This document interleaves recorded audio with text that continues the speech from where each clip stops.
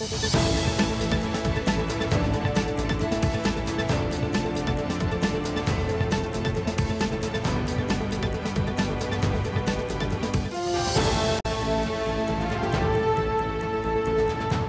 Здравейте с първите за деня новини по света и у нас.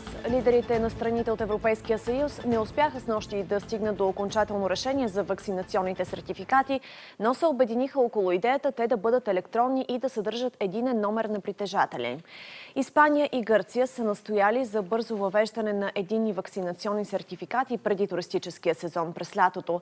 Все още обаче няма политическо решение за това, стана ясно след срещата. Работата по намирането на единен подход продължава, се казва в общо становище на лидерите. Те настояват фармацевтични фирми да осигуряват предсказуемост на производството и да спазват сроковете на доставките. Урсула фон съобщи след срещата, че до сега около 8% от пълнолетните граждани в Европейския съюз са вакцинирани.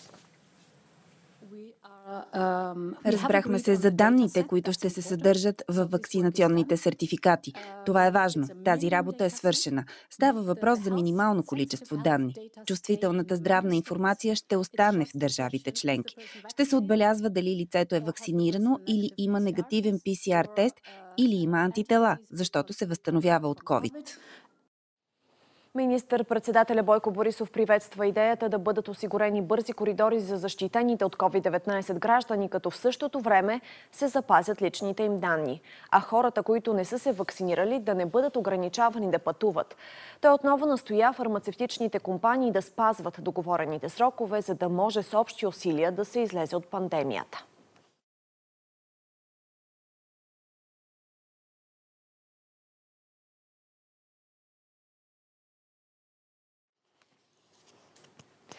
Днес видеоконферентната среща на върха продължава. Лидерите ще обсъждат въпроси, свързани с сигурността и отбраната. Дискусиите ще участва и генералният секретар на НАТО Иен Столтенберг. А актуалните данни за разпространението на коронавируса у нас показват 1822 са новите случаи на COVID при направени 12 645 теста през изтеклото денонощие. Това означава, че положителните проби са 14% от всички изследвани. Расте и броят на хоспитализираните. Вече 4368 пациенти са в болница. Излекувани са 689 души, починали са 53. 20 050 вакцини са поставени през последните 24 часа, така общият брой на поставените дози е 188 500. Две инжекции са получили 10 143.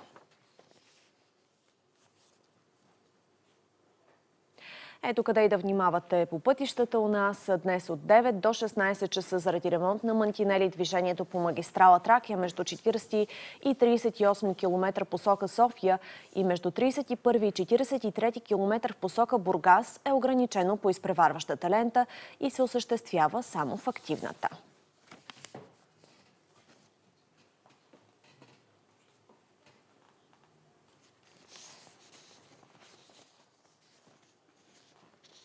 И сега нека да чуем думите на премиера Бойко Борисов.